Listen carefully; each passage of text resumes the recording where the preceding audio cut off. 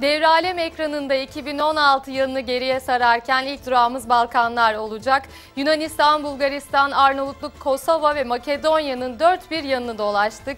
Gelenekleri, lezzetleri ve festivalleri ekrana getirdik. Tarihi ve mimari eserlere yakından baktık. Temsilcilerimizin haberlerini gelin birlikte anımsayalım.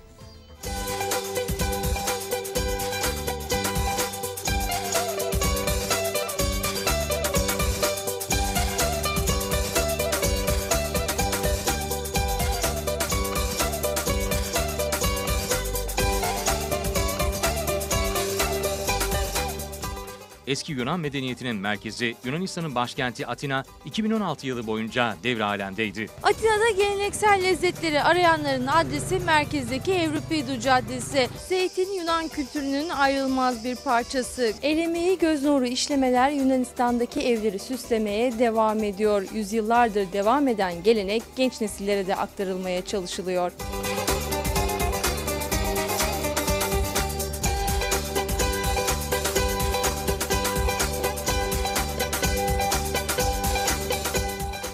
Atina ile sınırlı kalmadık.